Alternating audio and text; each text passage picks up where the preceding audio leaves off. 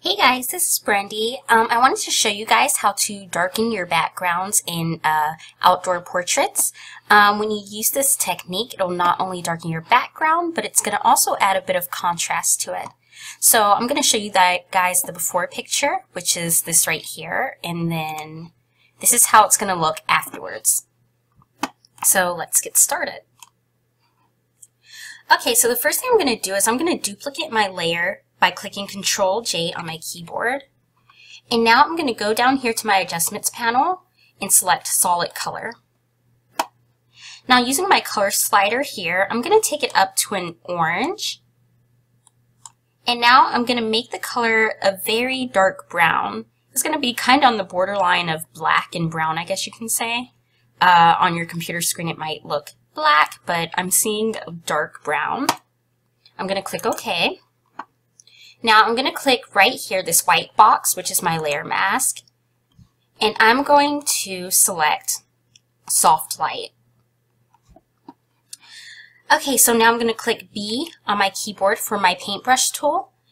And I'm going to make sure that my paintbrush's color is black. Um, yeah, right there. And now I'm going to start painting the effect off of her skin. So I'm just going to start painting it off of her clothes and her skin, her hair. Um, painting it off of the hair is optional. Uh, sometimes it can, you know, enhance the image a little bit more if you keep it on the hair. So I'm going to take it off of this blanket here.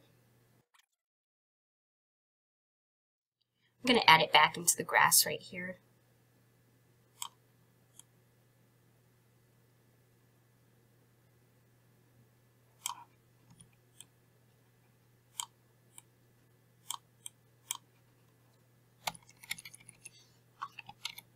Going to get a little detailed and add it back to the grass here.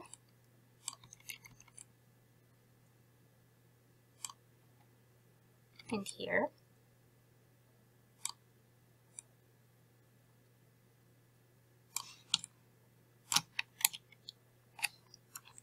Okay, so now I'm going to go over here and lower my opacity down just a tad.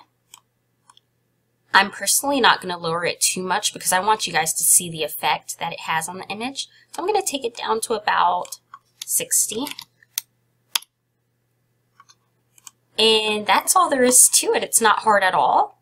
So here's the before, after, before, after.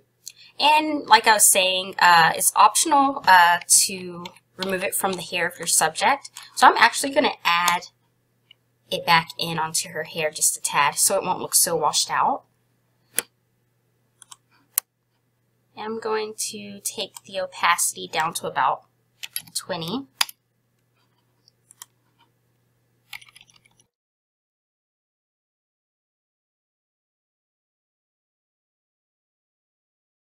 Again, before, after, before, after. There we go. So it's pretty easy. I'm going to flatten this. Click flatten and we're done. So if you guys have any questions, feel free to comment below. If you like this video, give me a thumbs up. And if you'd like to see any of my future tutorials, be sure to subscribe. Thanks guys. Bye.